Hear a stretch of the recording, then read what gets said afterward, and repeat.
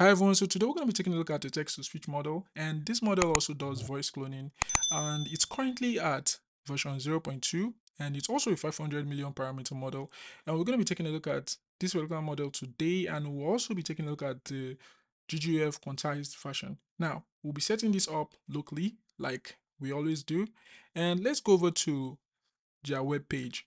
Now, their web page is outeai.com I think their official name is OuteAI. And if we go over here, now this is their blog post they actually wrote for this new release. As you can see, advanced text to speech model with multilingual support. Now, as you can see over here in the model description, it says OuteTTS 0.2500 million parameter model is our improved successor to the version 0.1 release. The model maintains the same approach of using audio prompts without architectural changes to the foundation model itself. Built upon the Qwen 2.50.5 billion parameter model, this version was trained on larger and more diverse datasets, resulting in significant improvements across all aspects of performance. Now, the key improvement, it actually has multilingual support, as you can see over here, it says new experimental support for Chinese, Japanese, and Korean languages. So it actually supports four languages currently, um, English, Chinese, Japanese, and Korean languages. So by default, it supports English. And for this video, we're going to only be checking out English since that's all I speak, basically. and as you can see over here the voice cloning, it says improve voice cloning capabilities with greater diversity and accuracy. So we are going to definitely put it to the test and see how it actually performs and how close it is to the speaker we would actually be cloning.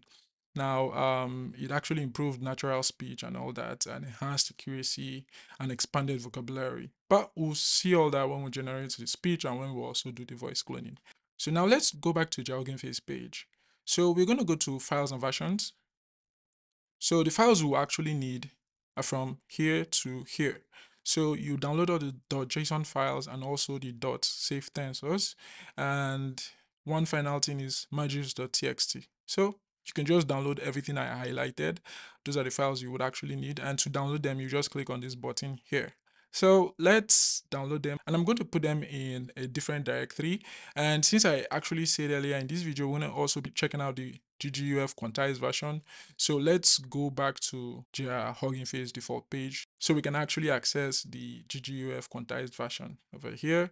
Now we'll go over to files and version again. And this time we're going to be going for the Q4KM and we'll also be going for Q8 underscore zero. So we are going to be comparing the both of them. The file size difference is not much. This one is 403 megabytes, while this is 537 megabytes. But we'll see which of them actually performs better. Um, since the higher the quantization number, the better it actually performs um, even though it might actually take up more resources to actually perform inference, but we'll see. Now let's go over to our IDE and check out our folder structure. So make sure your virtual environment is already set up. We won't be going over that in this video, but just a quick note, um, I used virtual env to set up my virtual environment and the Python version I'm actually using is Python version 3.12, just so you know. And also, the PC I'm actually going to be running inference on is my MacBook M1 Pro eh, with 16 gigs of unified memory. That's for those of you that have been wondering what PC I'm actually using. And once we actually perform inference, you're going to see how long it actually takes to generate speech, and we'll also see how long it actually takes to clone a voice. So a package we're going to be installing right now is the Python Llama CPP package since we'll be performing inference on the GGUF quantized version. So let's go to the page and so let's copy this. So make sure your virtual environment is already set up and active. So if we go over to our terminal, as you can see, mine is active. Now I can just run this. Now let's go back to the Face page and I'm going to copy the code example they actually give us. This one I'm going to copy and I'm also going to make some changes to it. Now, if you look at our project folder structure, as you can see, I have this here, and I also have the GGUF quantized versions here. So I have the Q8 underscore zero and the Q4 underscore M. So that's how I actually structured mine. And these are the WAV files of the speaker we're going to be cloning. One is Cogman from, um, I think it's from the Transformer movie, last the Last Knight. And I also have Jarvis here. That's what I'm going to be cloning. And I think they recommended audio duration for voice cloning is actually 10 to 15 seconds. So you can actually check that out. Now, if we go over to main.py, that's where we're going to be pasting our code. Now, as you can see over here, I'm pointing this model path to this directory, and we're going to be using the Hugging Face model config, and let's install this package. And if you're not using PyCharm where this option is visible for you, you can just copy this and run pip install and you'll just install the package. But since I have that visible, I'm actually installing the package currently and it's running in the background. So the moment it's actually done, you're going to generate the speech from text. And as you can see, package is installed successfully. Now um, we can actually run this code. And before we actually do that, we are going to uncomment the play, the output.play, so it will automatically play whatever audio it generates. And this is the file it will be generating, output.wave. Another thing to actually take note of is this. It will print the default speakers. I think there are about six or seven um, default speakers. And we're going to check out about two or three of them and then we'll move over to the voice cloning. Now let's run the code.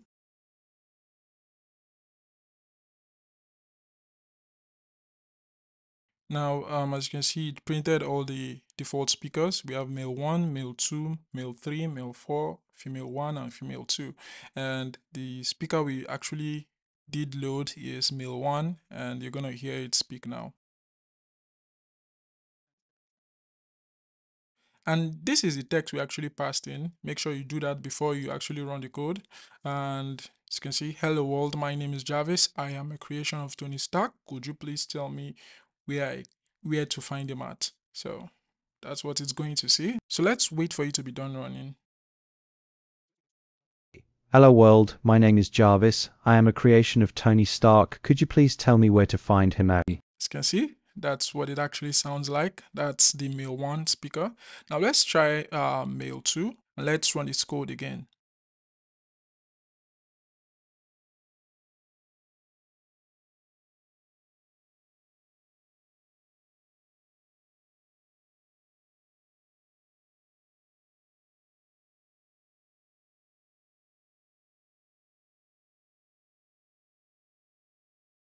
Hello world, my name is Jarvis. I am a creation of Tony Stark. Could you please tell me where to find him at? And that's what male 2 speaker actually sounds like. Now we're going to change this to female. And we'll be going for female 1. So you can actually check out um, the different speakers here for yourself. But after female 1, we are going to go over to voice cloning. Now let's run the code again to generate a new speech um, for female 1 speaker. We are actually generating the same text, so let's wait for it.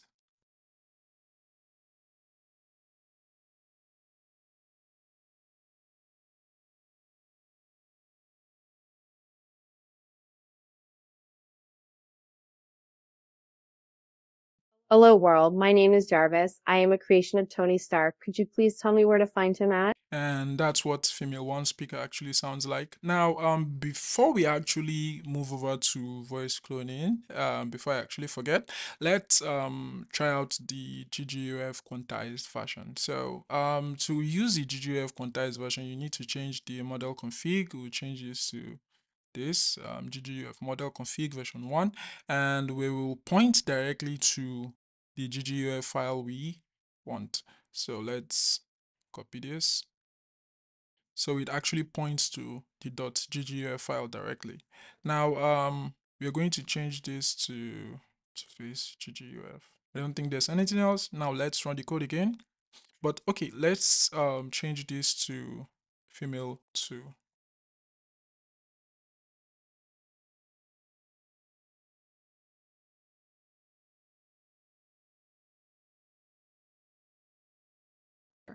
Hello world, my name is Jarvis. I am a creation of Tony Stark. Could you please tell me where to find him at?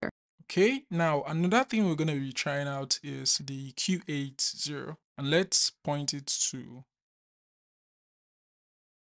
that one. Now let's run the code again and we'll be generating audio for the same speaker, female 2. So here how it actually sounds.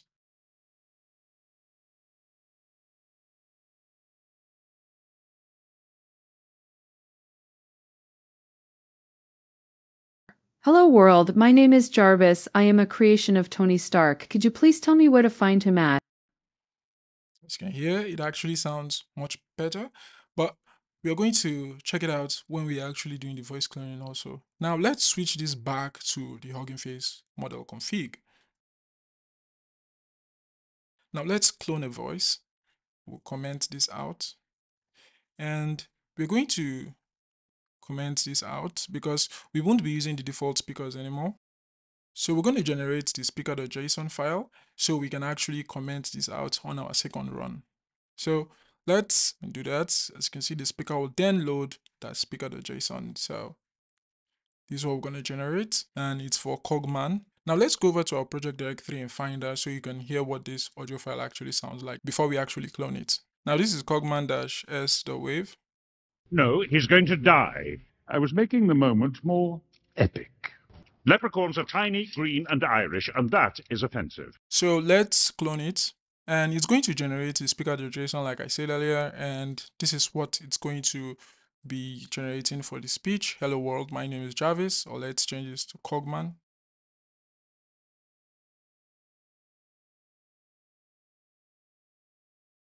So let's run this code. So we're going to see a JSON file appear in our project directory. Hello world, my name is Kaufman. I am a creation of Cybertron. Could you please tell me where to find it? So as you can actually hear, it actually sounds close. And even though this model is just a 500 million parameter model, it did a fair job, let's say a fair job, um, let's say around 40% accuracy. Now, as you can see over here, it actually says 10 to 15 second audio clip. That's what what is actually recommended for the speaker profile. So something else we're going to do is we're going to comment this out. So I will show you what I'm actually talking about. Just to save time, we are going to only load the speaker from the .json. That's what we're going to do. We ain't going to be saving a speaker anymore. We'll only be loading the speaker from the .json, which we generated earlier. So it would actually save time. Now we can actually change the text here to whatever we want.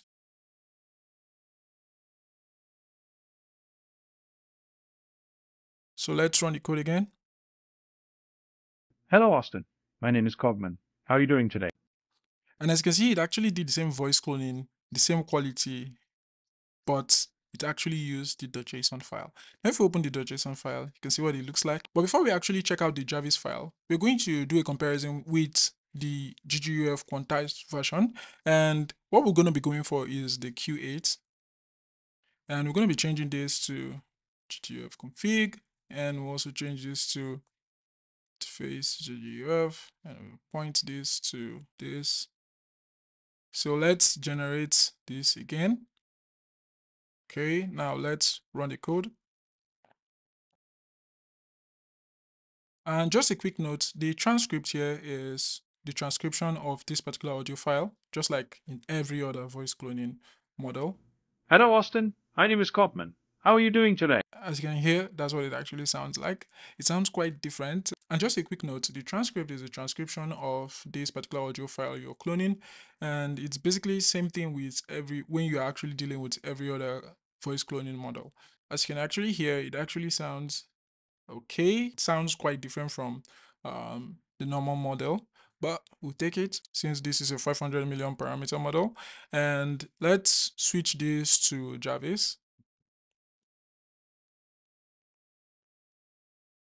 And something that's going to change is the transcript. Since this is Jarvis or Wave, we're going to be changing the transcript to the transcription of Jarvis or Wave. Okay, we've pasted that in, as you can see here.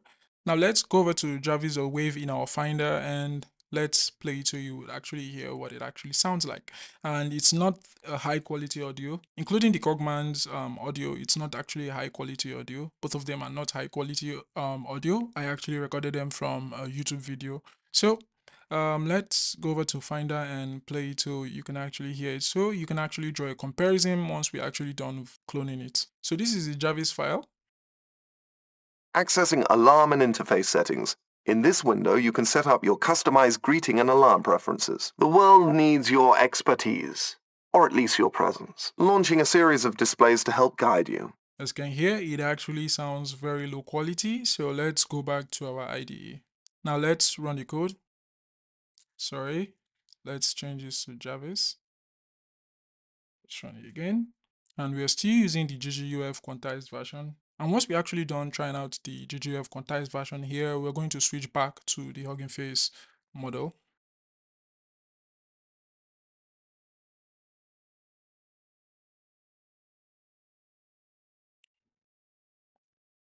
Uh, as you can actually see, it didn't actually play anything, and I do not know why it did that. And but let's actually try it again.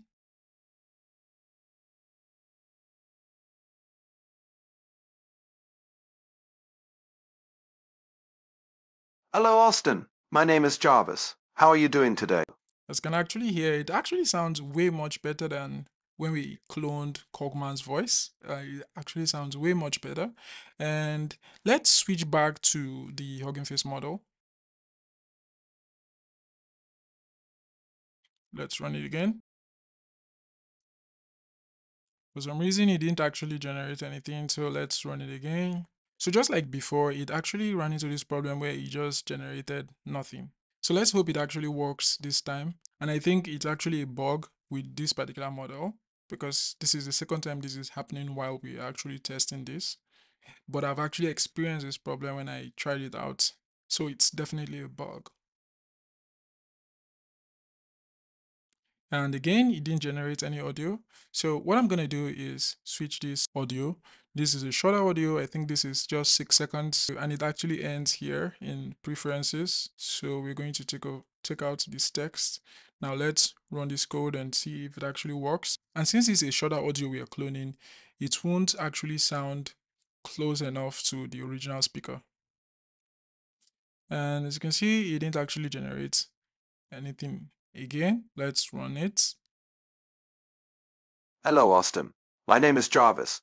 How are you doing today? So finally, it actually generated an audio. so um, this model is um, not consistent. And so for my final thoughts, I do think this is a great model for text to speech generation.